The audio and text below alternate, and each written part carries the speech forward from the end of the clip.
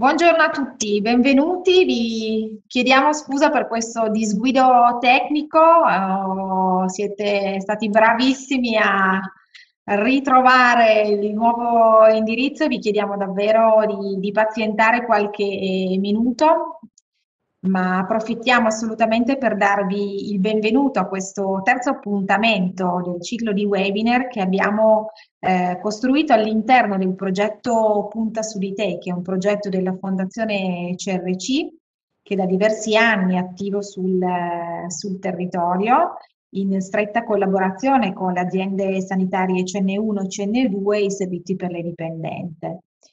Mentre aspettiamo che, come dire, insomma, state entrando velocissimamente, quindi grazie per questa prontezza e disponibilità. Io lascerei la parola alla collega Manuela Ferrero per spiegare un po' meglio che cos'è Punta su di te e perché siamo arrivati a costruire questi, questi webinar. Prego Manuela. Grazie e buon pomeriggio a tutti. E, ehm, appunto, io sono Ferrero Manuela, sono la responsabile del progetto Punta su di te, che è un progetto nato nel 2013 e che da, appunto dal 2013 sta andando avanti e continuerà anche nelle, nei prossimi anni grazie alle ASL CN1 e CN2. Ehm, è un progetto che dal 2016 è entrato a far parte eh, dei progetti direttamente promossi dalla Fondazione CRC e che vede come partner, oltre set, i comuni delle sette sorelle, eh, le ASL CN1 e CN2, in particolare i dipartimenti per le dipendenze, e eh, CIS, il consorzio di cui faccio parte, e la cooperativa sociale Aero, di cui fanno parte appunto Beppe e Emanuel. Eh, è un progetto di prevenzione sulla um, patologia da um, gioco d'azzardo negli anni abbiamo fatto moltissime attività, iniziative sul territorio. Eh, una delle iniziative più, più, forti, più importanti sicuramente è stata ed è tuttora la formazione con eh, gli istituti scolastici. Um, in quest'anno di, di, pandemia ci siamo anche noi adeguati, attrezzati per continuare a fare le formazioni eh, online e ehm, diciamo che eh, appunto da questa esperienza eh, online abbiamo deciso di allargare eh, il discorso del gioco d'azzardo, del gioco d'azzardo online eh, e i rischi e, e opportunità del, del digitale eh, attraverso appunto le competenze di eh, Beppe ed Emanuel. Um, io non aggiungerei altro, Daniela, se c'è qualcos'altro che vuoi aggiungere. Certo. Grazie Emanuela. Allora, intanto eh, spieghiamo questi momenti informativi, queste occasioni di webinar come occasione che la Fondazione sta promuovendo in vari settori di intervento, eh, un po' come occasione per aumentare l'informazione e le competenze. Ovviamente in questo periodo, come tutti sappiamo non possiamo organizzare eventi in presenza, utilizzare lo spazio incontri, ma sicuramente l'opportunità di eh, utilizzare le nuove tecnologie ci permette di arrivare a più persone anche in contesti molto diversi e probabilmente a raggiungere un pubblico più ampio interessato ad approfondire eh, la tematica. Allora, questo è un tema che è interessante e tocca da vicino tutti noi come mondo adulto, sia eh, nel ruolo di insegnanti piuttosto che nell'essere genitori, nell'essere comunque parte di una comunità che vive e anzi ha maggiormente utilizzato nell'ultimo anno le nuove tecnologie, eh, che sicuramente possono essere, come dire, cioè, possono essere, come dire, ambivalenti, possiamo averne un'accezione estremamente positiva, possiamo esserne diffidenti, ma sicuramente ci dobbiamo convivere. Abbiamo organizzato questi incontri con una partnership importante che è Steadicam, a cui adesso lasciamo la parola perché sicuramente è importante per le persone che sono collegate ascoltarvi e lasciarsi guidare un po' dalle vostre riflessioni. Per cui vi ringrazio ancora per l'attenzione, ci scusiamo ancora davvero per il disguido tecnico e lascio la parola a Giuseppe Masengo e a Emanuele Pellegrini. Grazie. Grazie Daniela, grazie. Grazie Daniela, benvenuti a tutti, benvenuti al secondo livello che avete superato egregiamente. Il primo livello era... Ah, pensavo mi ero, pensavo. ok, questo era un, era un, era un livello del game, l'avete superato, all'ultimo momento cambiare il link eh, non è facile, ce l'abbiamo fatta e voi siete qua. Siete dei player e dei gamer professionisti, ormai lo possiamo certificare tranquillamente e oggi proviamo anche a vedere se riusciamo a, a, ragionare insieme rispetto a cosa vuol dire essere saggi digitali. Come al solito, come le scorse volte, per chi era già presente la scorsa volta, vi chiederemo di interagire utilizzando la chat, potete farlo fin da subito, nel senso mandarci messaggi in questo momento anche proprio solo di saluto o se volete di maledizioni se non siete riusciti a superare immediatamente il, il primo livello del, del gaming. Eh, ma noi eh, vi chiederemo anche proprio durante l'incontro di eh, scriverci le domande che vi vengono in mente, le osservazioni che vi vengono in mente rispetto a quanto stiamo dicendo e rispetto ai video eh, che vedremo, come la scorsa volta, come le scorse volte vedremo, uh, avremo alcune visioni diciamo che ci servono come stimolo eh, per ragionare proprio sui temi eh, di cui stiamo parlando. Eh, Ema, eh, brevissimamente direi presentiamoci a livello di chi siamo, perché comunque potrebbero esserci partecipanti che non erano presenti nei primi due incontri. Vai, presentati allora. Sei simpaticissimo. Allora, io ed Emanuele, io sono Giuseppe Masengo, Emanuele è il mio simpaticissimo... Ah, presenti anche me. Certo, e facciamo parte, facciamo una presentazione collettiva così eh, bravo, bravo, bene. Facciamo parte del centro di documentazione Steadicam che ha sede ad Alba ed è un centro eh, che si occupa da più di vent'anni di media education e promozione della salute. Eh, cioè noi lavoriamo eh, per utilizzare i media a 360 gradi e ormai al giorno d'oggi dire media vuol dire utilizzare il digitale, in generale gli ambienti digitali, eh, per promuovere salute, per fare interventi nelle scuole, per fare formazione insegnanti, per fare formazione operatori, serate rivolte alla cittadinanza su numerosi temi, eh, dai temi più legati al consumo delle sostanze, perché noi lavoriamo all'interno di un servizio per le dipendenze, ai temi legati eh, all'utilizzo critico e consapevole del digitale, a tutta una serie di temi legati proprio alle dipendenze anche comportamentali. Il gioco d'azzardo in questo momento, tutto ciò che è legato all'azzardo è un tema molto importante su cui stiamo lavorando eh, all'interno anche di diversi progetti sul territorio nazionale. Eh, all'interno del progetto Punta su di te abbiamo lavorato nelle scuole, abbiamo lavorato eh, con la formazione eh, di alcuni operatori e grazie appunto al, al, progetto, alla Fondazione CRC, siamo qua oggi per il terzo incontro di questo ciclo eh, pensato proprio per riflettere insieme sui temi del, del digitale.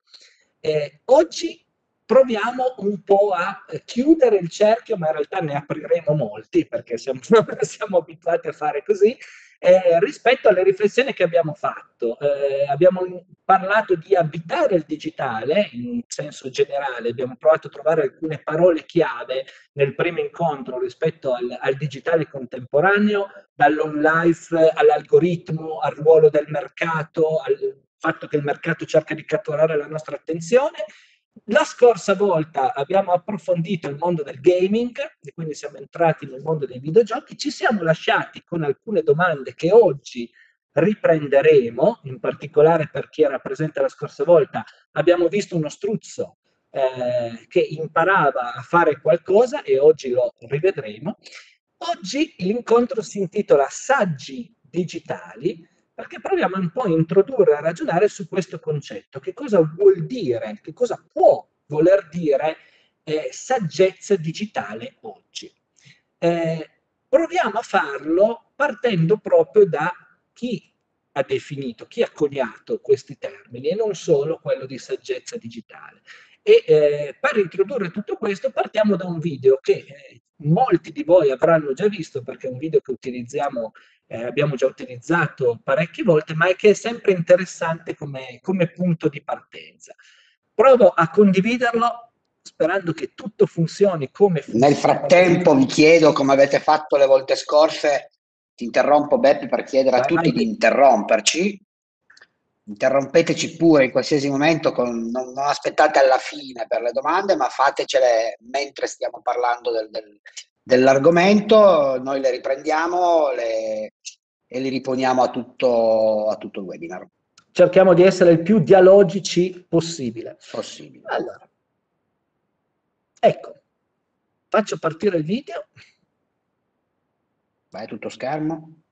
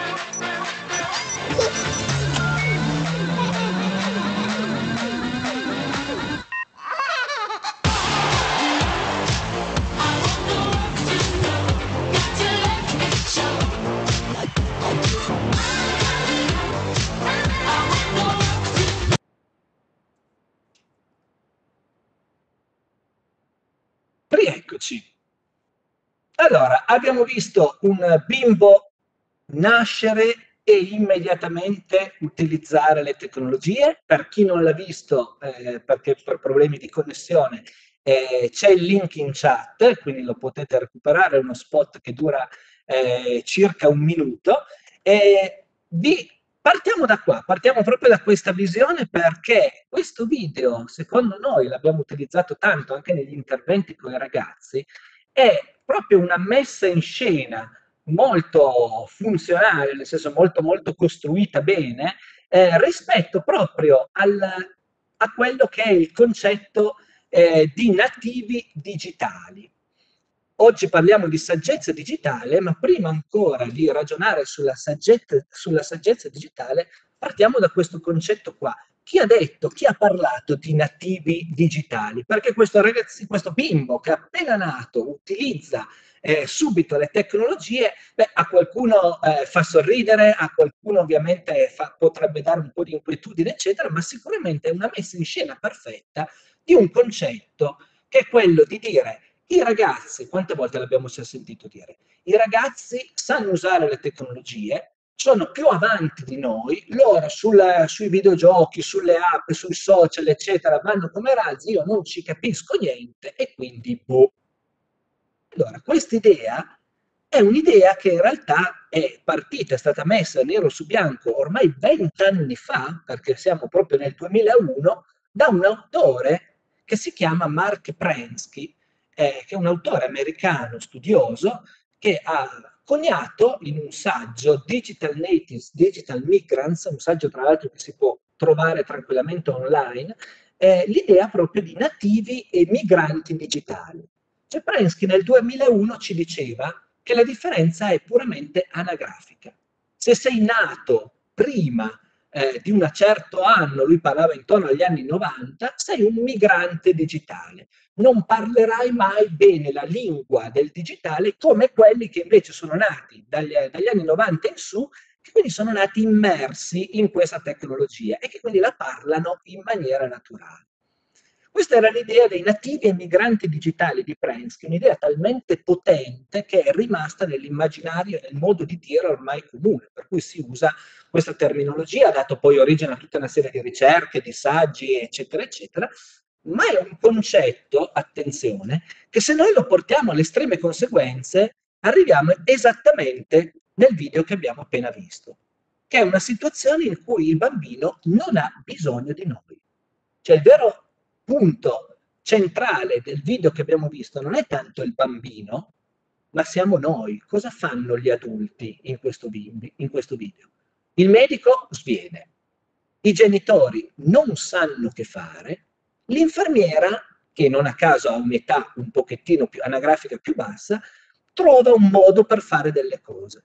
Il tipo alla reception all'ingresso è stupito. Cioè il mondo adulto in questo spot non interagisce con il bambino e quindi il bambino esce dall'ospedale da solo.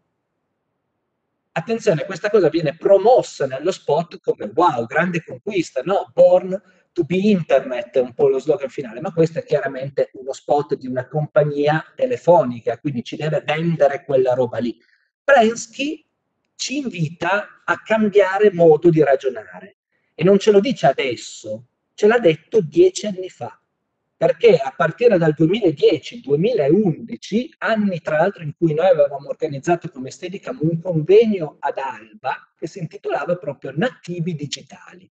Bene, proprio in quegli anni lì in cui si ragionava su, questo, su questi termini, Prensky ha riflettuto sulle sue, sulle sue analisi e ha cambiato prospettiva e ci invita a non pensare più alla tecnologia come qualcosa che ci divide in termini anagrafici, cioè se sei nato prima, se sei nato dopo, ci capisci qualcosa, non ci capisci niente, no. Ma ci invita a ragionare sulla tecnologia e sul digitale come un grande terreno di dialogo. E lo fa in un libro che poi esce nel 2012, che è La mente aumentata, che a sua volta ormai è un libro che per certi versi dice delle cose anche forse superate o comunque eh, che lasciano un po' il loro tempo, ma in realtà i concetti alla base della mente aumentata sono i concetti che tuttora animano il nostro lavoro con i ragazzi. Ed è l'idea della ricerca di saggezza digitale. Preschi fa un paragone interessantissimo all'interno del libro. Lui dice, migliaia di anni fa l'uomo scoprì il fuoco e quando scoprì il fuoco, ovviamente si trovò a dover padroneggiare una tecnologia potentissima che dava enormi vantaggi, scaldarsi e far da mangiare i due principali, ma che allo stesso tempo rischiava di ammazzarci. Allora cosa ha fatto l'uomo? Ha impiegato decenni, secoli per sviluppare quella che lui chiama la saggezza del fuoco, che noi oggi diamo per scontata. Cioè noi oggi usiamo il fuoco sempre, ce l'abbiamo in casa, ma ne facciamo attenzione. Avvis- ci viene ovvio avvisare i nostri figli ad fare attenzione a noi perché il fuoco brucia. Però non ci sogneremmo mai di vivere in una casa senza il fuoco, cioè senza la possibilità di utilizzarlo. Abbiamo sviluppato la saggezza del fuoco, ma ci sono voluti moltissimi anni. Allora Preschi ci sta dicendo questo, ci sta dicendo siamo agli inizi perché davvero siamo agli inizi di un'epoca in cui dobbiamo andare alla ricerca continua della saggezza digitale, andare a sviluppare una saggezza come quella del fuoco. E Preschi ci dà alcune indicazioni rispetto alla saggezza digitale. La prima ce l'ha anticipata Daniela eh, poco fa introducendo l'incontro, dicendo beh, eh, viviamo, abitiamo nel digitale, come abbiamo visto nel primo incontro, e quindi ovviamente ci dobbiamo avere a che fare. Quindi saggi digitali sono innanzitutto quelli che ci entrano dentro sostanzialmente, non lo rifiutano a priori e questo vale un po' per tutti i vari campi. Ancora di più, aggiungiamo noi, se hai compiti educativi. Perché attenzione, la scelta di dire io voglio bon, staccarmi e vivere tranquillo, isolato, senza connessioni, eccetera, è una scelta che, caspiterina, potessimo ben volentieri. Ma se hai compiti educativi, se hai dei ragazzi, se a scuola, se sei genitore, eccetera, questa scelta oggi è, è diventata sostanzialmente impraticabile. Allora Prensky ci dice, bene, ragioniamo sulla saggezza digitale e la saggezza digitale è la capacità di farci domande, cioè dell'utilizzare quello che ci viene proposto, dell'abitare gli ambienti digitali, ponendoci continuamente domande, un po' quello che abbiamo fatto nei primi due incontri, con un'avvertenza. Non possiamo aspettarci che i ragazzi più giovani possano porsi lo stesso livello di, avere lo stesso livello di spirito critico che abbiamo noi adulti. E questa spiegazione ce la dà molto semplicemente lo sviluppo degli studi sullo sviluppo del cervello. Ora, né io né Ema siamo eh, esperti neurologi o eh, studiosi del cervello, però una cognizione molto di base che ci permette di sapere che il cervello lo sappiamo tutti, è un organo che si sviluppa nel corso della nostra vita e alcune aree del cervello maturano in età diverse, bene, questo ci fa sapere che un'area del cervello specifica è quella deputata al controllo degli impulsi, all'autocontrollo. Quest'area è un'area che si sviluppa e raggiunge la sua maturità quando diventiamo sostanzialmente da maggiorenni, 20 anni in avanti. Quando abbiamo 10, 13, 15 anni, quella parte lì è ancora in sviluppo e tendiamo quindi ad essere magari più impulsivi, ad avere meno autocontrollo. Non è né una colpa né un difetto, eccetera, fa parte della nostra crescita ed è, ha un compito evolutivo, perché fondamentalmente è giusto dal punto di vista evolutivo che un adolescente rischi, un adolescente faccia anche delle cose senza pensarci troppo. Ma allora noi dove siamo noi adulti? Non possiamo essere come nello spot che abbiamo visto prima, sconvolti, separati senza fare nulla. Il nostro compito è proprio quello di portare questo aspetto di autocontrollo, di regolazione, di ragionamento, di, di, anche di eh, eh, domande rispetto agli impulsi che ci capitano e di proporlo dal punto di vista educativo. Anche perché l'abbiamo visto bene nel primo incontro, se andiamo in automatico facciamo il gioco dei mercanti dell'attenzione. Se andiamo in automatico facciamo il gioco del mercato e il mercato ci vuole sempre H24 lì sopra a fare una serie di cose senza pensarci troppo. Pensate ai siti di e-commerce che ti propongono di comprare con un click.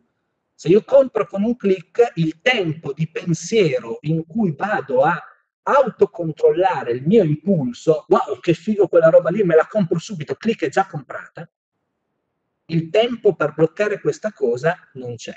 Il mercato punta a questo. Noi, che abbiamo sviluppato quella parte di cervello perché siamo adulti, abbiamo il compito di inserire questo spazio di ragionamento. Ma questo è solo un pezzo di quella che andiamo a definire come saggezza digitale, perché qua dentro poi andiamo a mettere tante, tanti altri aspetti, tanti altri ragionamenti. Ovviamente io proseguo, ma Ema, tutte le domande, le riflessioni che arrivano, eccetera, in qualunque momento mi interrompi. Eh? Vai, certo, le teniamo, vai. Ovviamente. Allora, quali possono essere un po' eh, degli spunti, delle, delle, regole, ma più che regole noi preferiamo parlare di consigli educativi che ci arrivano prima di tutto dalla letteratura, cioè da chi negli anni ha scritto proprio eh, delle riflessioni rispetto a come comportarsi nel, nel digitale e non solo. E vi proponiamo due o tre spunti proprio di riferimento con, con i relativi libri a partire da uno che è il testo di Serge Tisseron, eh, uscito già eh, in lingua originale parecchi anni fa, eh, in, in, italiano è stato tradotto più recentemente, ma la traduzione in italiano è arrivata solamente a metà degli anni 2000, 2015-2016, ma il libro era precedente. Allora, cosa propone Serge Tisseron? Eh, che uno psicologo e psichiatra francese di fama internazionale, lui a un certo punto ha deciso di lanciare la pietra nello stagno. Cioè, vedendo che un po' tutti arrivavano una serie di novità tecnologiche a ritmi eh, molto alti e eh, l'atteggiamento era, vabbè, allora a qualunque età va bene tutto, proviamo a proporre, a dare un, proporre una linea guida. Cioè, come ci approcciamo agli schermi. Lui non parla mh, in maniera, non parla solo di i videogiochi, i social, eccetera, parla in generale di schermi e propone questo schema qua, che lo semplifichiamo usando una, un'infografica che è stata realizzata dal, dagli amici del CREMIT, eh, Centro di ricerca sui media dell'Università Cattolica di Milano, con cui collaboriamo da anni. Nello schema di Tisseron eh, l'idea è che sotto i tre anni occorrerebbe evitare l'utilizzo continuo, massivo degli schermi, perché il bambino ha bisogno di fare altro di costruire manualità, riferimenti spazio-temporali, eccetera, eccetera. Dopodiché possiamo iniziare a introdurre schermi, ad esempio, di visione di cartoni animati, vedo un DVD, vedo un cartone alla TV, vedo qualcosa sul tablet. Dopo i sei anni, Tisseron inizia a dire, bene, possiamo iniziare a introdurre il gioco elettronico. Dopo i nove anni, eh, Tisseron parla, c'è proprio un passaggio nella crescita del bambino che è un, quello che viene definito come l'abbandono del mondo magico dell'infanzia e quindi uno sviluppo delle capacità più razionali su cui va molto bene poi iniziare ad andare a cercare, ad esempio, informazioni online. Quindi lui dice dai nove anni introduciamo l'utilizzo di internet. E poi, crescendo ancora di più, ci si stacca dal, dalla famiglia, si cerca il bisogno sempre di più del gruppo, delle relazioni sociali, bene, dai 12 andiamo a introdurre i social network. Questo è lo schema 36912 di Tisserand. E già lo vedete subito, ma Tisserand l'ha detto esplicitamente, che è uno schema opinabile, è uno schema su cui possiamo iniziare ad avere dei dubbi e soprattutto è uno schema che oggi quanto possiamo farlo valere? Se quando introduco un videogioco, l'abbiamo visto la scorsa volta, sono già in un ambiente social e sono già online. Come faccio a tenere distinte queste fasce d'età? E infatti Tisserone l'ha proprio detto, ha detto questo non è il Vangelo, questa è una proposta su cui continuamente confrontarci e discutere. Io vi do alcune linee guida che secondo me hanno senso, dice Tisserone, e poi ci ragioniamo. Secondo noi, e questo è un invito che vi diamo il, eh, eh, rispetto al, alle riflessioni di Tisserone, mentre vedo un commento di Maria Cristina che ci dice proprio questo, caspita, è certo, la DAD che oggi è all'elementare o anche ai bambini più piccoli, come la mettiamo insieme alle regole di Tisserone? Esatto, ma infatti il passaggio è proprio questo, che Tisserone non si limita a dare 3, 6, 9, 12 fine così, ma propone questo viene spiegato molto bene nel libro, eh, quelle che lui chiama tre, le tre A, che poi sono sostanzialmente tre consigli proprio educativi di come approcciarsi al digitale. Educare all'autoregolazione, e l'abbiamo visto prima, non possiamo pretendere che un bambino, un ragazzo, un adolescente si autoregoli in automatico, perché abbiamo visto lo sviluppo cerebrale ci sta arrivando a quella roba lì. E quindi io devo educarti a quello non solo alle regole, ma a imparare poco per volta ad assimilare le regole e a darti tu stesso dei limiti, capendo il perché di quei limiti. Secondo punto che propone Tissaron è educare all'alternanza, cioè avere sempre più strade aperte, più possibilità aperte e ragionare sempre sul, sul bello e il brutto di ciascuno dei media che utilizziamo. Quindi il videogioco, la passeggiata, il libro, il film, il servizio televisivo, eh, il concerto, sono tutte possibilità diverse che io ogni volta vado ad alternare in modo da non restare solamente su uno, cioè uno non deve mangiare tutti. E di nuovo potrebbero, escono fuori subito i ragionamenti sul tempo che stiamo vivendo, dove l'alternanza è stata strettamente limitata. E come faccio ad alternare se non posso andare fuori? Ma il terzo punto che per noi è veramente centrale, su cui si basa anche tutto il lavoro che facciamo a Steadicam, è l'idea di accompagnamento. Tisserone lo dice chiaro e tondo, dice come quando da bambini piccoli, questo viene istintivo, no? da genitore lo facciamo un po' tutti, no? il bimbo molto piccolo e leggi insieme a lui un libro, e leggere un libro insieme vuol proprio dire eh, fermarsi sulle, eh, su ogni eh, figura, magari tornare indietro di due pagine perché c'è di nuovo quello, ripetere una cosa tante volte. Insomma, quello vuol dire leggere un libro insieme, accompagnare a un medium, che è quello del libro. Questo modo di accompagnare lo possiamo estendere agli altri media, agli altri ambienti digitali e non. E quindi adottare una strategia simile di accompagnamento, di essere presente, di esplorare insieme aggiungerei di abitare insieme gli ambienti digitali che estendiamo ai social, che estendiamo alla navigazione online, che estendiamo quando vediamo un telegiornale, che estendiamo al vedere un film insieme o al giocare un videogioco. Ma non è solo il giocare, il fare delle cose insieme, ma è proprio il eh, far diventare questi spazi terreni di dialogo a tutti gli effetti. Allora, ripeto, il libro di Tisseron è un libro che è già di alcuni anni fa, però in realtà andatevi a vedere cose molto più recenti, come ad esempio, questo è un esempio che vediamo e poi vi mettiamo anche il link in chat rispetto a questa, questa guida, l'Unione dei consumatori pochi mesi fa ha creato una guida scaricabile online in PDF sull'utilizzo di TikTok. E All'interno di questa guida c'è proprio una delle pagine finali che ci dice, ci dà una serie di, di regole che ci vengono proposte. Fate caso come la prima regola proposta è esplorate TikTok insieme. Poi ci sono le altre, mh? attivare il collegamento familiare, quindi è possibile eh, fare un collegamento tra gli account in modo che io genitore vedo cosa capita. È possibile impostare l'account come privato, è possibile stabilire alcune cose che posso e non posso fare, e va bene, questa guida te lo spiega molto bene. Ma la prima regola proposta è esattamente l'accompagnamento di Tisserù. Esplorare questo ambiente digitale insieme. Esplorate l'applicazione, guardate e commentate insieme i video che compaiono, cercate gli ultimi trend, esplorate gli effetti filtri, definite insieme i contenuti che si possono pubblicare. Questa è la logica de, di un ambiente digitale che diventa terreno di condivisione di esperienze e terreno di contratto di regole. E navigando online proprio in questi giorni stiamo un po' esplorando un'altra app che sta avendo molto successo, che è Discord, beh, Emanuele mi, mi, ha fatto scoprire proprio in questi giorni quest'altra sezione proprio sul sito di Discord, che è la sezione dedicata ai genitori, proprio con, eh, con i consigli che vengono dati a, ai genitori eh, sull'utilizzo di quest'app, con tutta una serie di, di, di proposte, di idee, ma di nuovo L'idea alla base è genitori e figli esplorate questo mondo, stabilite le regole, segnalate, limita, filtrate i contenuti, eccetera, per vedere un po' come funziona. Non so che cos'è Discord, qua ci arriviamo, arriviamo proprio al punto, eh, un, è il punto alla base un po' di tutte le cose che, che, su cui stiamo ragionando.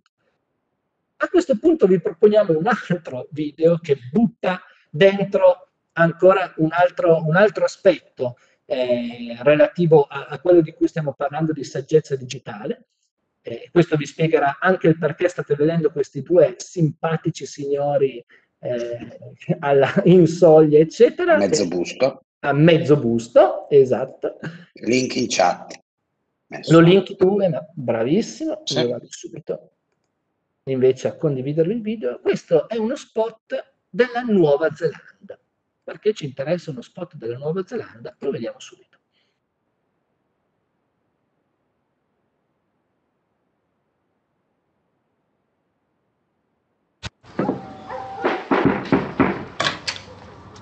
Hiya, I'm Sue. This is Derek. We're here because your son just looked us up online, you know, to watch us. Matt! Matt, darling, there's some people here to see you. So he watches you online? Yeah, you know, on his laptop. iPad, PlayStation. Mm, his phone, your phone. Smart TV, projector. Yeah, anyway, we usually perform for adults, but your son's just a kid. He might not know how relationships actually work. We don't even talk about consent, do we? Now we just get straight to it. Yeah, and I'd never act like that in real life. Nah. hey, Maddie. You're right? Okay, Sandra. Stay calm. You know what to do here. All right, Maddie. It sounds like it's time to have a talk about the difference between what you see online and real life relationships. No judgment. Many young Kiwis are using porn to learn about sex. Keep it real online. Get help and advice at keepitrealonline.govt.nz. Allora, diventa sempre interessante chiedersi se uno spot del genere potrebbe uscire in Italia. Eh, perché è uno spot che prende in maniera, prende di petto un altro dei grossi temi. Anna infatti ci scrive subito, non credo, eh beh, però interroghiamoci proprio su questo aspetto, perché in realtà questo spot della Nuova Zelanda, che ci sta dicendo in maniera molto chiara, molto esplicita, keep it real online, cioè genitori, adulti, parliamo con i nostri ragazzi rispetto a quello che capita online e nello specifico, questo è uno spot che fa parte di una campagna, per cui in realtà ci sono altri spot su altri temi, ma questo affronta il tema della pornografia. E ci sta dicendo, ok, adulto, stai calmo, se avete sentito la voce, ok Sandra, stay calm, stai calma, e parla, sai, sai come fare, questo è interessantissimo, tu adulto lo sai come fare, non avere paura. E mettiti a parlare di, quello, di questo tema, mettiti a parlare della sessualità vista attraverso la pornografia, della rappresentazione della sessualità mediata dalla pornografia con tuo figlio, con i ragazzi, con un gruppo, ma parlane, perché questo è l'obiettivo. Allora, questo ce l'ha detto uno spot della Nuova Zelanda che vedo dai commenti, forse qua in Italia faticheremmo ad accettare, o comunque sulle tv italiane, se non altro, non è andato in onda, non c'è, ma in realtà è il tema di un libro che è già uscito parecchi anni fa, anche questo, e che è un libro di un pedagogo famosissimo che è Alberto Pellai. E Alberto Pellai eh, ci ha Uh, ci ha già detto nel 2014 con il libro Tutto troppo presto esattamente le stesse cose. Pellai nel 2014 scriveva un libro che aveva come sottotitolo L'educazione sessuale dei nostri figli nell'era di Internet e nelle regole, anche lui propone una serie di consigli alla fine del libro, ci propone proprio regola numero 3, parlate di tutto con i figli. Regola numero 6, non perdete tempo e non fate finta di niente. Cioè l'universo digitale in cui, che abitiamo tutti i giorni, quotidianamente, e che come avete scritto in chat, ho visto un commento al volo prima, è senza limiti? Anzi, è strutturalmente no limits, perché ha proprio come parametro di, di riferimento l'infinito, beh, questa roba qua non ha limiti e di conseguenza dobbiamo essere pronti al fatto che molto probabilmente da qualche parte dei contenuti arriveranno ai nostri figli, ai nostri alunni. E allora, con chi ne parlano? La domanda che ci poniamo sempre è, vedi qualcosa che, che, che ti ha colpito, che, di cui non... con chi ne parli? Quali spazi di dialogo andiamo a costruire noi, mondo adulto, per non restare di nuovo come gli adulti del primo spot che abbiamo visto, quindi lì che non sappiamo che cosa fare, perché altrimenti il bambino esce dall'ospedale da solo, che poi va benissimo quando ha raggiunto una certa età, ma quanto riusciamo ad accompagnarlo e quanto riusciamo a costruire spazi di dialogo su, in cui confrontarci rispetto a una serie di temi. Pellai si è concentrato nel suo libro proprio sul discorso della sessualità, ma possiamo estendere il discorso, che ne so, alla violenza, all'horror, allo spavento, alla discriminazione, a tutta una serie di temi che vediamo tutti i giorni in un telegiornale, che probabilmente i ragazzi fruiscono spesso nei videogiochi, che girano nelle chat di WhatsApp, ti arriva uno sticker e che fai? Con chi ne parli? Questa è, la, è l'impostazione e il consiglio, secondo noi, molto centrato che propone Pellai, ripeto, già nel 2014, quindi non ci serviva lo spot della, della Nuova Zelanda per dire questa cosa, ma la Nuova Zelanda ha saputo dirlo, secondo noi, in maniera molto potente. E a questo punto torniamo alla luce di quello che ci siamo detti finora, allo spot che abbiamo visto la scorsa volta e che ovviamente adesso vi andiamo a riproporre perché questo struzzo che abbiamo visto indossare il casco VR beh, ci, interessa, ci interessa proprio molto. È arrivata intanto una bella osservazione in chat di eh, Emana, l'ho letta al volo, ma mi sembra di che sia quanto sa un genitore, adesso non riesco a vederla. Quanto sa un genitore di cosa c'è dentro YouPorn? Eh, beh, è il passaggio eh, che volevamo suggerirvi poi dopo. Prima vediamo, vediamo lo, lo spot e poi cerchiamo di ragionare anche su quanto è consapevole rispetto a un'educazione sessuale un genitore o se non altro ci, lasciamo, ci lanciamo la domanda. Eccolo.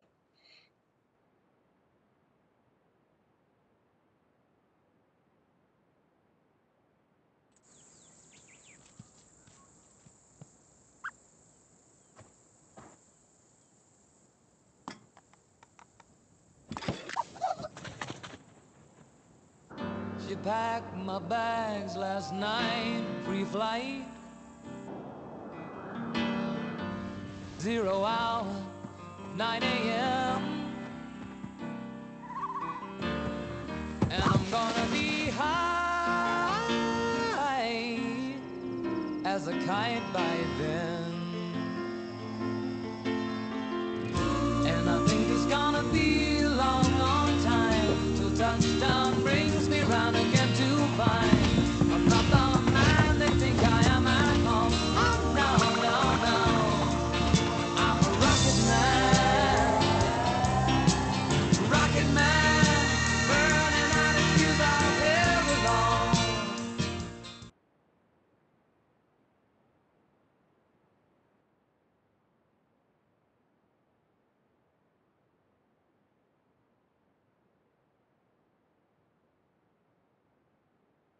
La domanda, dopo aver, dopo aver visto questo spot, è proprio quella con- su cui ci eravamo lasciati la scorsa volta, l'abbiamo lasciata proprio aperta.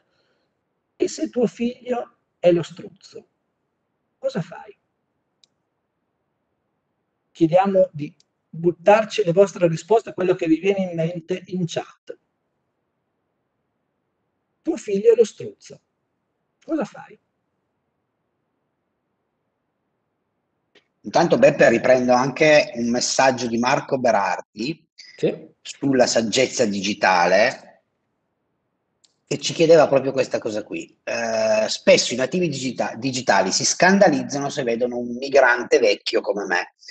Il suo figlioccio a 11, a 11 anni si è meravigliato perché lui aveva un account su Instagram e ci chiede: è possibile che sia un rifiuto dei più giovani a riconoscere il saggio?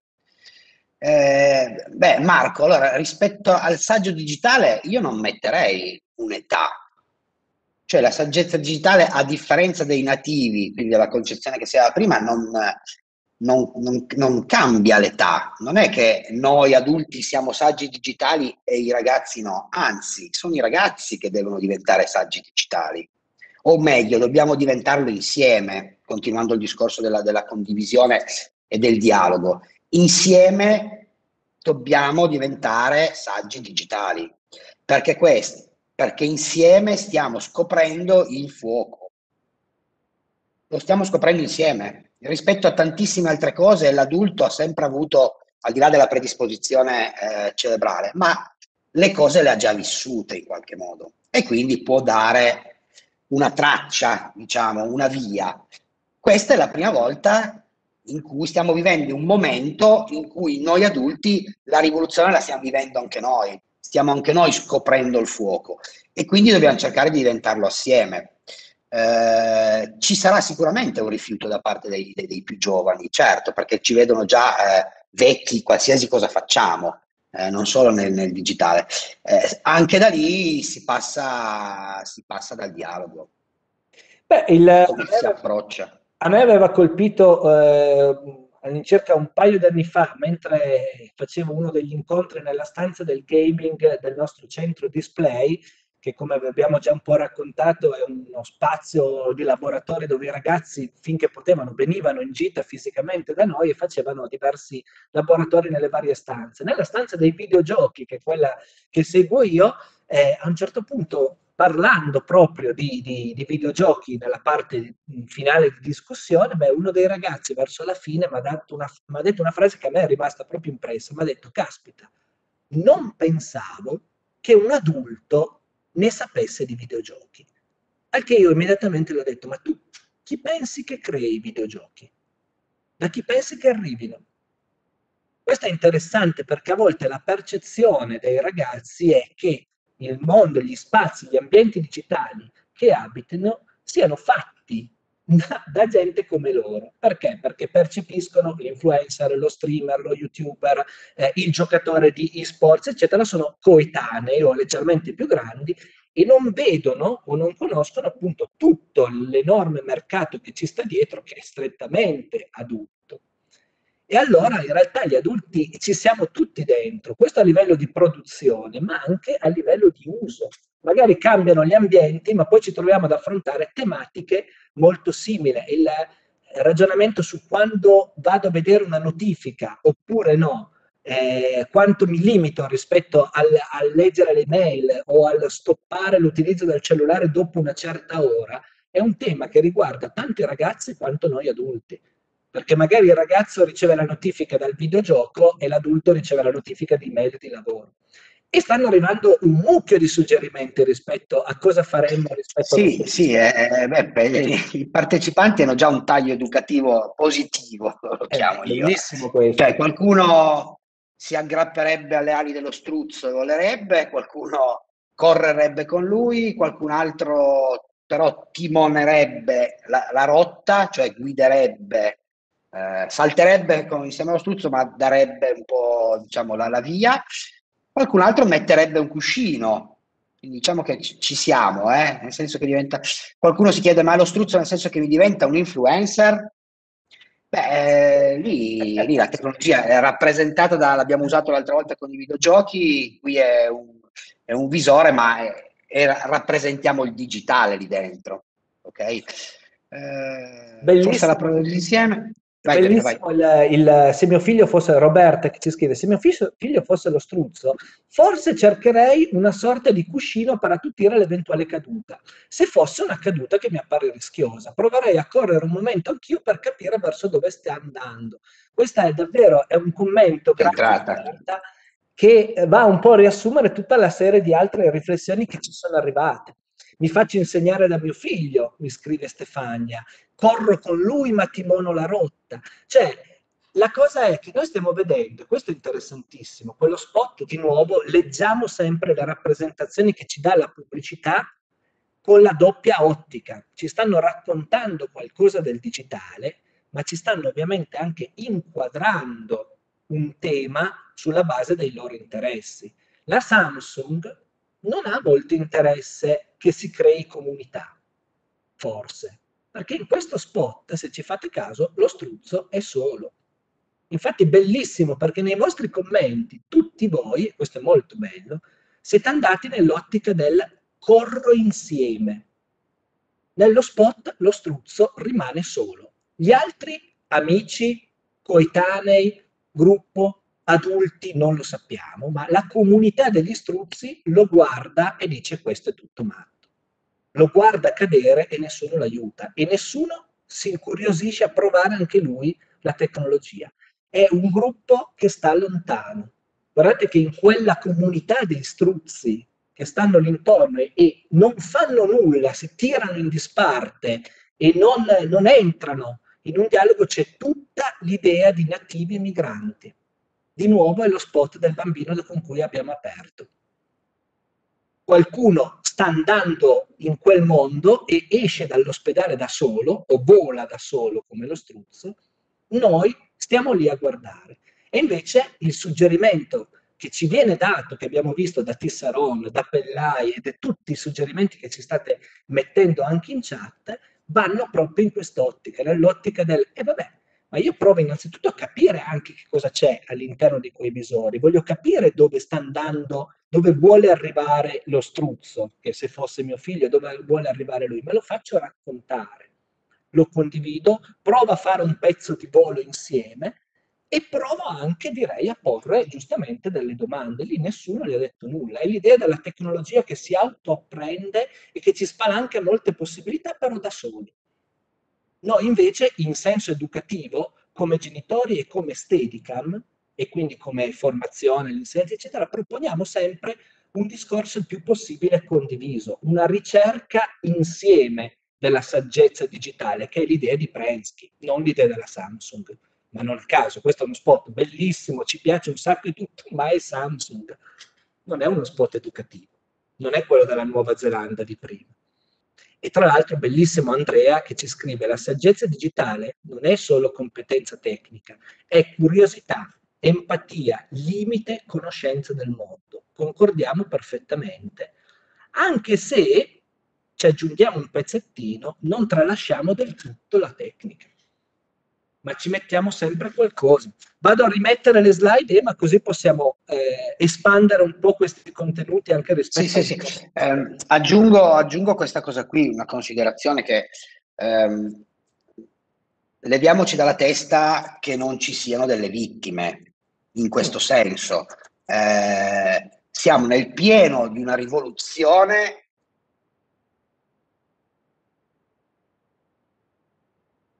siamo nel pieno di una rivoluzione e scopriremo nella prossima puntata che, co- che cosa Anzi, per utilizzare le A sono sparito Eh, di nuovo. eh, sì, ti sei frezzato, ma proprio, eh, Emma, nella frase siamo nel pieno della rivoluzione. Quindi, Ok, eh, il comandante. No, no, no, era bellissimo perché io ho iniziato, c'era gente che iniziava già ad abbonarsi a Netflix per vedere la prossima puntata e insomma, vai, vai, vai.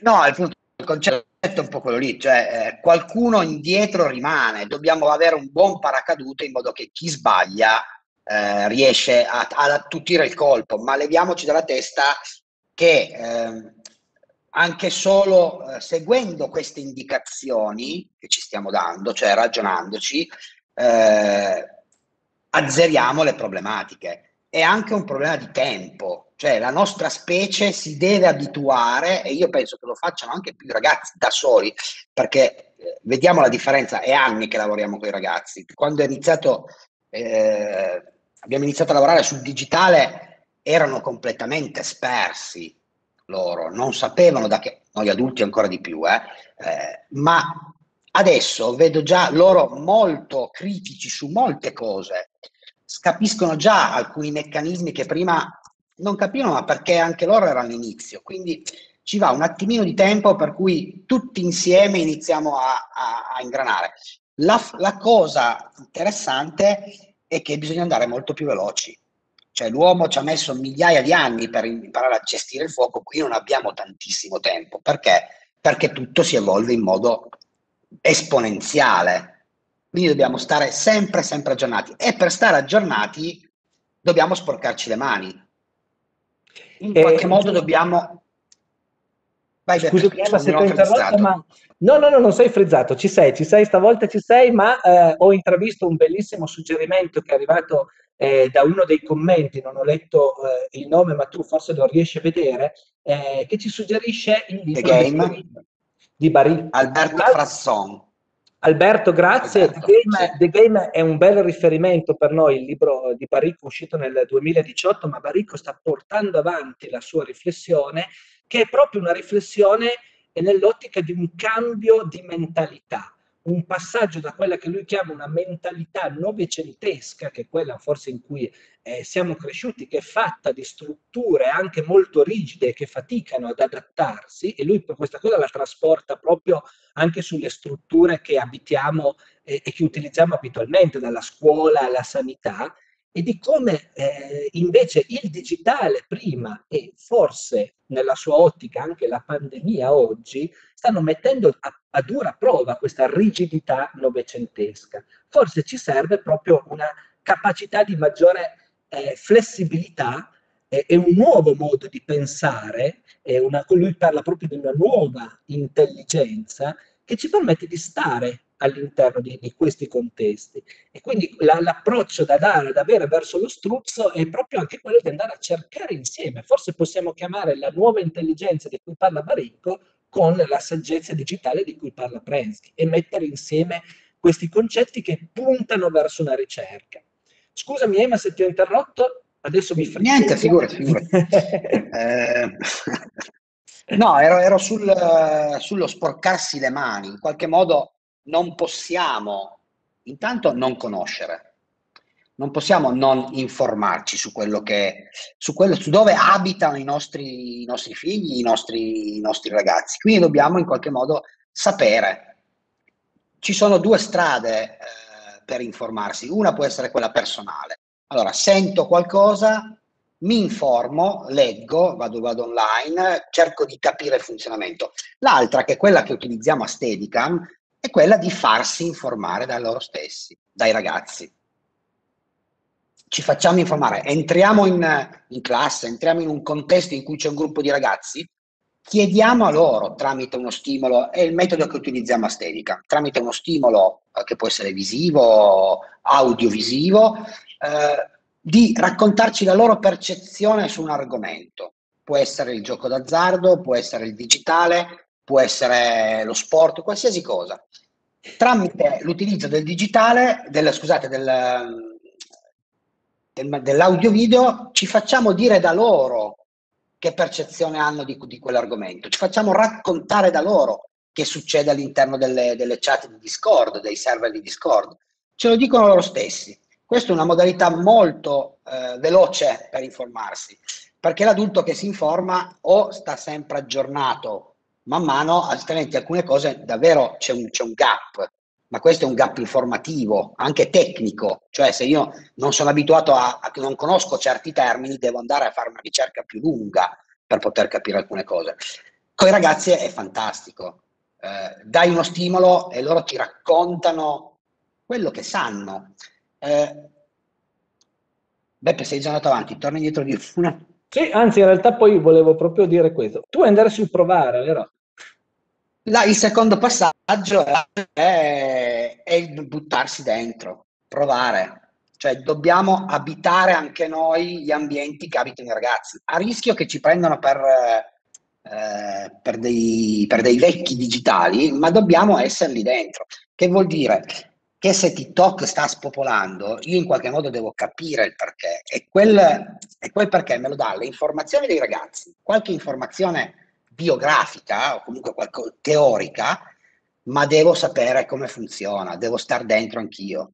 Che non vuol dire farsi tutti gli account di tutti i social, ma quei due, tre, quattro che sono quelli di, di utilizzo, devo conoscerli. È un po' come se negli anni, metà degli anni 90, io cos'era MTV, io dovevo guardare MTV se avevo a che fare con i ragazzi, anche se non mi piaceva, anche se il- l'ambiente in cui sto andando a provare eh, mi disgusta in qualche modo, non fa, non fa, non, non mi piace per niente, devo comunque esserci per capire come funziona.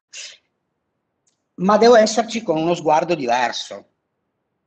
Devo, devo in qualche modo, quando poi eh, dialogo col ragazzo o con i ragazzi, devo in qualche modo tirare giù una maschera, un filtro, sospendere assolutamente il mio giudizio, che è anche giusto, eh, perché è un giudizio dato da- dalla razionalità di cui parlavamo prima, eh, del, del- del cervello evoluto di un adulto, ma quando sono con i ragazzi devo in qualche modo sospendere il mio giudizio per lasciare che loro mi raccontino, mi dicano. E qui parte il secondo momento suspense eh, dell'incontro. Cosa dirà dopo Emanuele? Lo scopriremo ah, nella prossima puntata. Io ne approfitto dell'interruzione che Emanuele molto gentilmente e molto volontariamente mi concede per farvi notare come i tre eh, termini che per noi veramente sono un po' riassuntivi del nostro modo di lavorare, anche del nostro modo di approcciarci, ovvero eh, l'idea per cui eh, ci informiamo, proviamo qualcosa e poi andiamo a, a dialogare insieme, quindi informarsi, provare, dialogare, sono ovviamente remixabili, nel senso che noi adesso li abbiamo messi co- in quest'ordine, informarsi, provare, dialogare, ma potremmo girarlo al contrario. Scopro qualcosa nel dialogo che ho con i ragazzi, ah wow, interessante, quel ragazzo lì mi ha citato questa roba che non avevo mai sentita. Andiamo a vedere che cos'è, provo, ampliamo il discorso, cerco informazioni. A noi capita spessissimo, ma veramente di esempi ne abbiamo un mucchio. Nel 2016 un ragazzo di un istituto qua del, del territorio mi ha fatto conoscere Twitch nel 2016. Twitch, l'abbiamo visto la scorsa volta, nell'ultimo anno è cresciuto del 60%, oggi è una piattaforma fondamentale quando parli con i ragazzi e non solo. Nel 2016 era un fenomeno di nicchia. Quel ragazzo lì mi ha detto tieni d'occhio Twitch e io da allora ho tenuto d'occhio Twitch. Non sono diventato uno streamer, nulla eccetera, ma quando poi Twitch è iniziato a diventare qualcosa che i ragazzi sempre più spesso mi citavano bene, me ne aveva già parlato quel ragazzo lì e ho iniziato anche ad approfondire il discorso. Lo stesso rispetto a Discord, che è iniziato ad uscire da alcuni ragazzi e che poi ci è servito andare a cercare una serie di informazioni e oggi an- andiamo proprio sul sito di Discord ad andare a vedere, ah, guarda, propone anche dei consigli per genitori. Fortnite, la prima volta che ci è stato nominato, quando eravamo qua a display, io mi ricordo benissimo che la prima volta me lo sono segnato col nome sbagliato. Pensavo mi avessero detto Fortnite per la notte. E dicevo, ma che è sta roba?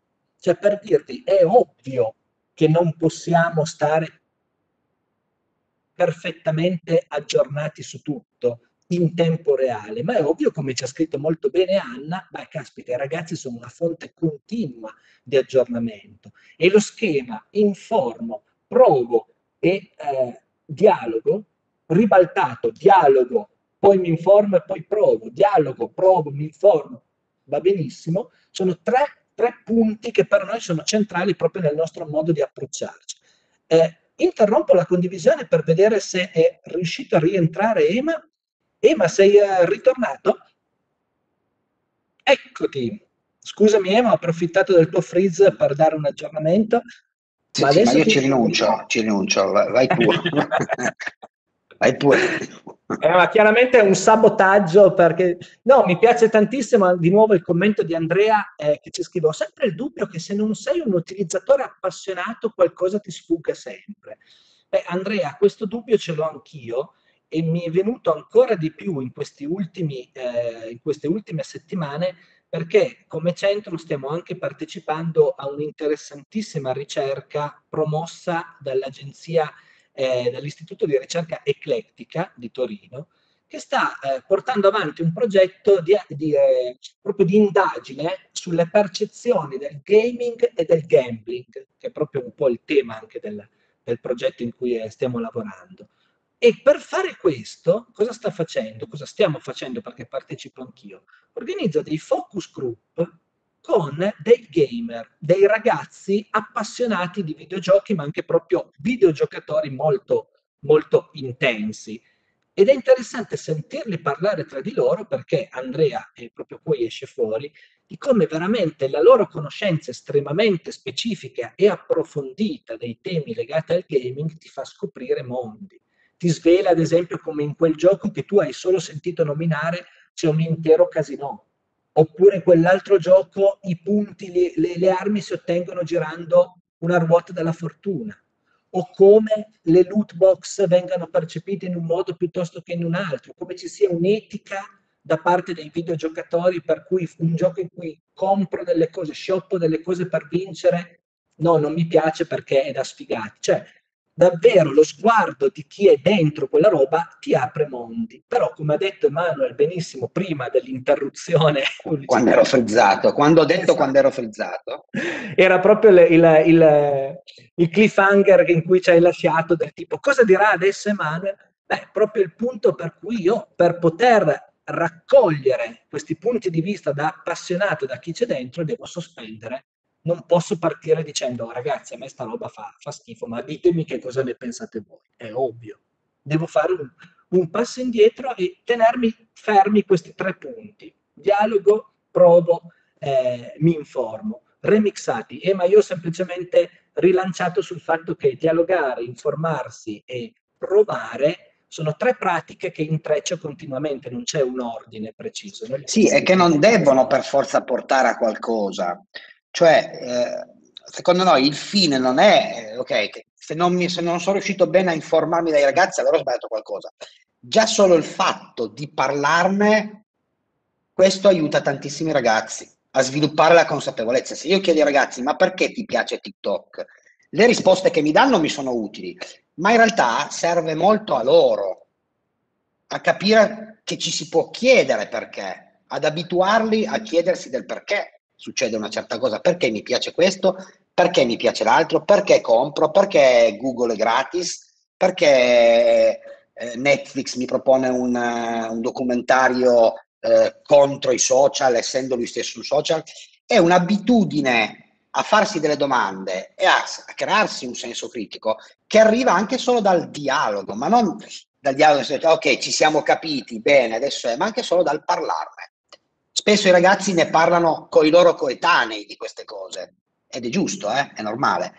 Eh, riuscire a uscire dal loro giro e parlare, così come il ragazzo che ha detto a Beppe, ma io non, non sapevo che gli adulti, eh. scoprire che c'è anche un'altra categoria di persone, che possono essere anche i genitori e gli insegnanti, che ne sa e con la quale ne puoi parlare, e secondo me è fondamentale per loro, per sviluppare in loro proprio il senso critico per noi farsi delle domande. La postura deve essere proprio quella del tipo io ammetto tranquillamente di non essere l'esperto e imparo da te che ne sai di più, ma io mi pongo nel, nell'ottica del io a mia volta ti pongo domande, cioè la nostra grande capacità appunto del cervello adulto che ha sviluppato una maggiore capacità riflessiva e di autocontrollo è anche quella di porsi continuamente domande a cui magari tu non avevi pensato mentre tu vai su altri binari, mi dai altre informazioni o mi dai un punto di vista, come ha detto Andrea, appassionato che a me era sfuggito. E in questo modo si creano delle connessioni bellissime, come ci dice Alessandra, provando ho scoperto, ho scoperto che Instagram mi piace tantissimo. Wow, perfetto. Che non vuoi poi dire, ah, adesso Instagram va bene tutto, ma vuol dire che io inserisco in quella roba lì, anzi, che vado a sperimentare una componente fondamentale di tutto l'abitare digitale contemporaneo, che è il piacere. Oggi una cosa in qualche modo ti deve piacere. E il bello di queste cose è che ti piacciono, ma la nostra capacità di farsi domande è iniziare a chiedersi cos'è che me lo fa piacere così. Cioè non mi limito a dire mi piace, ma inizio a chiedermi che cosa funziona lì all'interno che mi dà piacere. Questa è una delle domande che poniamo spessissimo ai ragazzi. Perché ti piace Instagram? Perché ti piace Twitch? Perché ti piace quel videogioco? Oppure al contrario, perché non ti piace? E terzo passaggio, quello che dicevamo rispetto a Pellai, che cosa ne fai di una cosa che non ti piace? Che cosa ne fai se incontri in un videogioco, in un film, in una serie tv, un'immagine, una situazione che ti ha dato fastidio? È il senso del pegi nei videogiochi, l'idea per cui io ti do un'età consigliata, ma come ha scritto benissimo, ed è bellissimo questo commento, eh, Tiziana, che ci scrive rispetto allo struzzo, io attenderei che torni per raccontarmi ciò che ha vissuto. Mi preoccuperei se non mi raccontasse nulla. Tiziana, questo commento è fulminante, perché in realtà quello che spesso capita è proprio la seconda opzione. Io ho fatto il mio viaggio fantastico in GTA su TikTok o su Twitch e lo faccio quotidianamente e non ti racconto nulla. Ma perché a volte i ragazzi ce lo dicono, io non racconto quello che faccio perché ho paura che mi sgridino. Oppure io non racconto questa cosa perché so che non va bene. E lo spot della Nuova Zelanda ci dice esattamente questo, ma cosa vuoi che io ti racconti della pornografia se so che la prima cosa che fai è mettermi in castigo o mi prendi per? Quando invece il discorso ci serve che lo struzzo torni e ci racconti che cosa ha vissuto. Però è difficile, eh? attenzione, il consiglio che ci dà Pellai, parlate di tutto con i vostri figli, non stiamo dicendo che tutte le cose che stiamo dicendo non stiamo dando per scontato, ah vabbè è facile, wow. No, ci poniamo continuamente dei dubbi e degli interrogativi. Eh, in una classe con cui ho lavorato qualche giorno fa, proprio parlando di pegi e di, di, di, di videogiochi di età consigliata, un ragazzo a un certo punto mi ha detto, aveva eh, 13 anni, mi fa, ma io eh, sto giocando a Resident Evil 6, che è un videogioco horror. A me personalmente gli zombie non danno fastidio, so che è tutto finto, quindi vado avanti. Che gli dici? Smettila? Raccontami perché non ti piace? Tu a chi non lo consiglieresti? Cioè, questi sono dubbi su cui io stesso, ogni volta che mi capita una situazione del genere, mi confronto e su cui non ho una risposta. Eh, vorrei chiudere, perché vedo che giustamente sono già le, le 5 e 20, vorremmo però chiudere con un'ultima parola chiave, un ultimo suggerimento che, eh, che ci siamo dati rispetto proprio all'utilizzo, a, a, come approcciarci rispetto alle, a, al, al dialogo con i ragazzi. Abbiamo proposto informarsi, provare e dialogare, e sono veramente i tre verbi cardine del nostro modo di lavorare come Steadicam, ma aggiungiamo un quarto punto che per noi è centrale. Tutti gli ambienti digitali, le app, gli strumenti che abbiamo a disposizione sono fantastici per creare, cioè possono diventare uno strumento creativo potentissimo.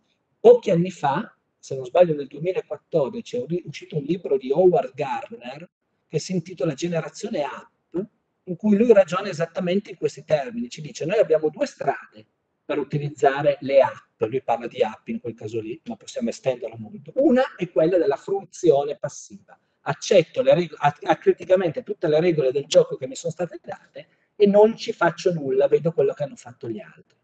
Oppure le uso per farci qualcosa io. Ed è quello che proviamo un po' sempre a fare in tutti un po' i nostri laboratori, nelle scuole, piuttosto che qua a display, piuttosto che anche a distanza, proviamo in tutti i modi di far creare i ragazzi. Far creare i ragazzi vuole anche dire in maniera estremamente sintetica, poi questo sarebbe un discorso da approfondire, eh, costruire un ragionamento sulle regole rispetto al digitale, chiedere ai ragazzi quale vorrebbero trasformare in immagini e poi, bene ragazzi, avete mezz'ora, avete tre quarti d'ora, usate quest'app, usate questo programma e create un'immagine per raccontare una regola a Corteviglia un gruppo di ragazzi in una classe ha proposto un'immagine di questo tipo, che è potentissima. Si sono messi in scena e ci hanno detto, fai una scelta, o dialoghi con me o guardi i messaggi. Ma l'hanno creato con una scenetta che hanno creato in un'immagine che hanno poi rielaborato e che hanno riassunto in una scritta. Questo è un, è un messaggio, un manifesto a tutti, a tutti gli effetti. In un'altra scuola, questa volta siamo invece nel territorio dell'Emilia Romagna, a Faenza, la- la- uno dei suggerimenti che è arrivato è questo, e di nuovo apre mille riflessioni. Stanno parlando agli adulti e ci stanno dicendo forse abbiamo bisogno che voi ci coinvolgiate, perché se usate il digitale come babysitter qualcosa non funziona. A Diano d'Alba una classe ha creato questo che si racconta da solo. Hanno preso l'immagine dell'ultima cena, hanno ritagliato uno per uno i vari cellulari, hanno messo una scritta comunicativamente perfetta ed è diventato questa roba qua, che ci dice una cosa semplicissima, sempre di meno stiamo ragionando in termini di consigli sull'utilizzo del digitale, in termini di limiti di tempo. Non ha forse più senso dire usalo un'ora al giorno, usala mezz'ora, usala... Ha molto più senso ragionare nelle situazioni. Siamo nell'on life, l'abbiamo visto nel primo incontro, quindi non è che io mi stacco, lo uso mezz'ora, devo convivere, devo trovare una sostenibilità di questo on life e allora quali limiti vado a porre nelle mie situazioni quotidiane? A tavola, la notte, quando faccio i compiti? I ragazzi a Diano d'Alba ci hanno proposto questa cosa qua.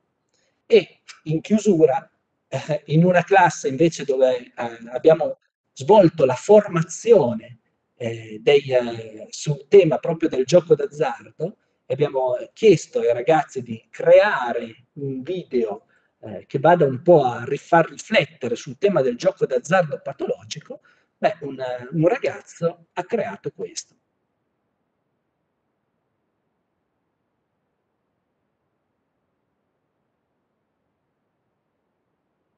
Lui è Bob. Bob non ha le braccia. Bob è triste.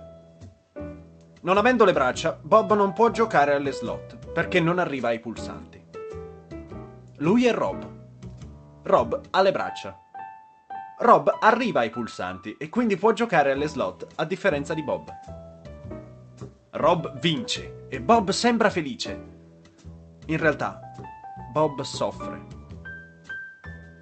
Un giorno Bob ha un'idea. Si farà attaccare delle braccia. Bob parla quindi con un medico. Il medico è d'accordo. Lui è Bob. Bob ha le braccia. Bob è felice perché ora può giocare alle slot. Bob perde alle slot. Ma Bob non demorde e chiede dei soldi a Calogero il cravattaro, suo compagno delle medie.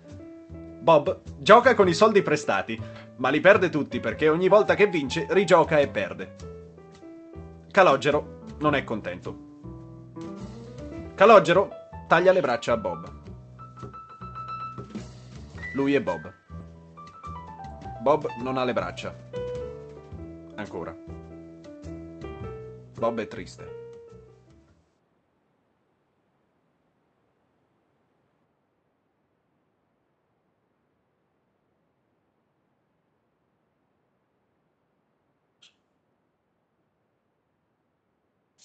Rieccoci. Eccoci. Usare la creatività e il digitale per parlare di temi di salute per noi può voler dire anche arrivare a fare una cosa di questo tipo. Grazie Beppe, credo che i commenti che si sono, sono scritti adesso in chat credo che dicano molto. Allora, ovviamente vi ringraziano tutti e eh, come dire, insomma, commentano la, la genialità di, di, questo ragazzo rispetto a quello che, che, ha fatto.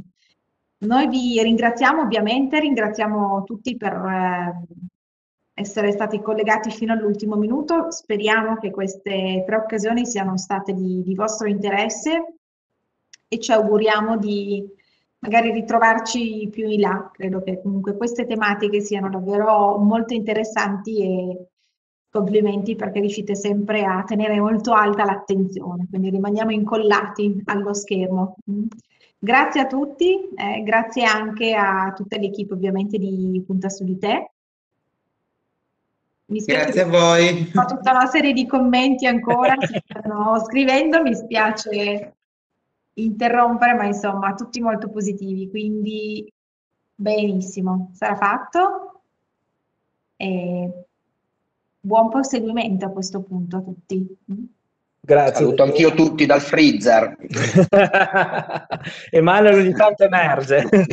Diciamo che appunto sono le 17.26, chiudiamo e insomma davvero anche rispetto a tutti questi ringraziamenti che stanno arrivando, insomma sono per voi, prendeteli perché sono più che meritati. Mm? Vi ringraziamo, grazie, grazie di tutto, grazie a voi di aver partecipato e grazie davvero al progetto Punta su di te e alla Fondazione CRC per averci ospitato. Grazie e buona serata a tutti.